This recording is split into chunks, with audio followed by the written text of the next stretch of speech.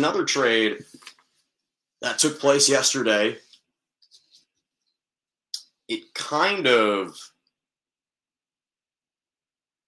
I don't want to say shocked the NBA because I don't think it did, but CJ McCollum is no longer a Portland Trailblazer. He was traded to the New Orleans Pelicans yesterday. This kind of broke some headlines. Obviously, we saw now he went to New Orleans with with Larry Nance Jr. We saw that Norman Powell and Robert Covington had been sent to the LA Clippers earlier in the week. So we were starting to see this overhaul be put in motion before CJ McCollum was officially traded. And now it's reported that they are in talks, they being the Portland Trailblazers, are in talks of trying to trade for Jerami Grant, right? So let, let me let me say this. I appreciate I appreciate what Laporte, what the Portland Trailblazers are attempting to do. I admire what they're trying to do. I commend the fact that they finally came to the realization that he and Damian Lillard, it's not that they can't coexist because they can, but there is an inherent ceiling and a limit on how far this team can go with the two of them. And obviously, if you had to prioritize one over the other, as much money as you pay Damian Lillard, it's more important to value and prioritize him than CJ McCollum.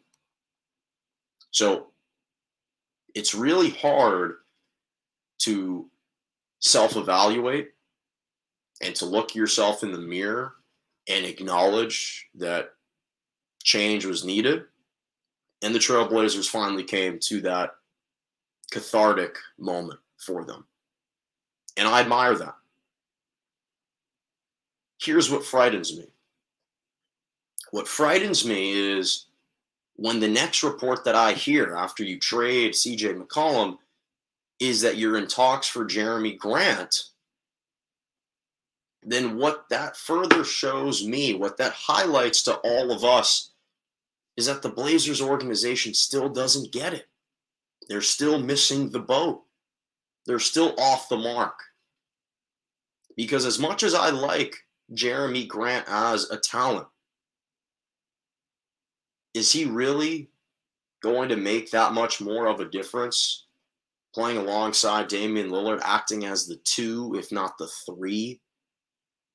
Is that really going to change dramatically how far this team can go? I understand it improves their defense. He's not as skilled individually as an offensive player and as an offensive package, but he can do a lot of things creatively, offensively. He's a great defensive player. That's what earned him that big contract to go play for the Detroit Pistons.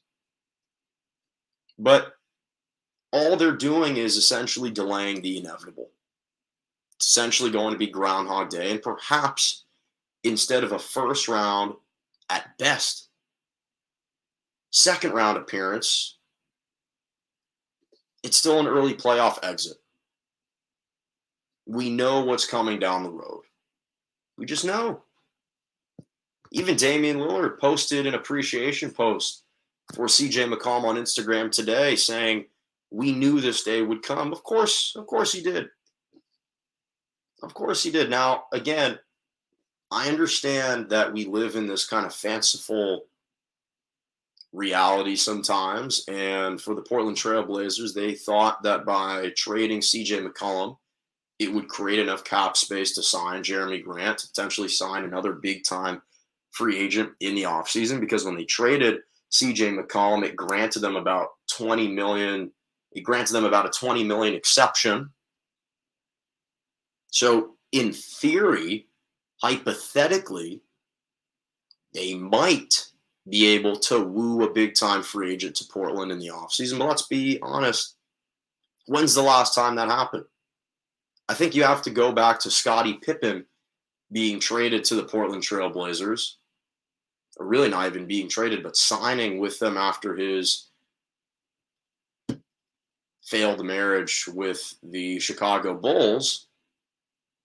Otherwise, the next great players with the Portland Trailblazers, LaMarcus Aldridge, Brandon Roy, Greg Oden, these guys were drafted by the team. Damian Lillard, they were drafted by the team. They weren't traded.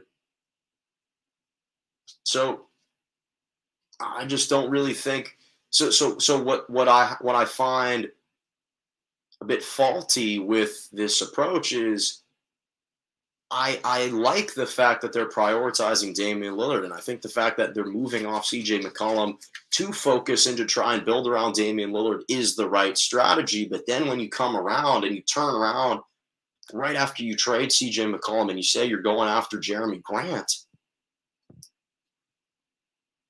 you just haven't learned from those previous mistakes, from that previous regime. That that's the problem for me. And if you're Damian Lillard, this was just a complete wash. The season was a complete wash. I don't know if he's going to be coming back at all this year.